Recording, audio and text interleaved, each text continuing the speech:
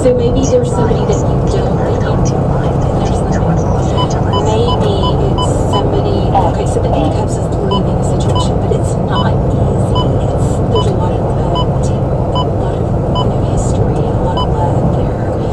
Um, this could be a pisces the moon could be emotion but it looks like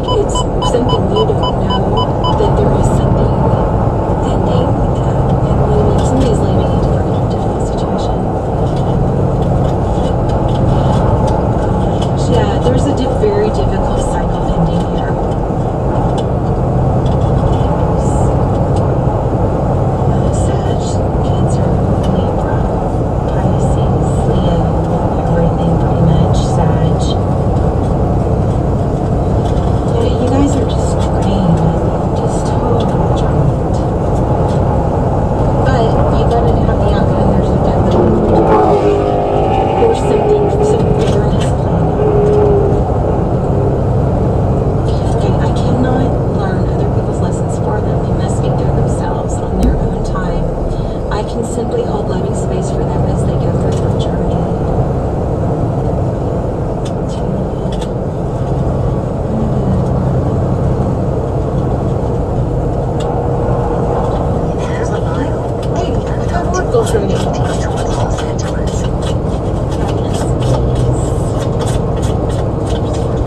That clear deck is called the transparent mirror.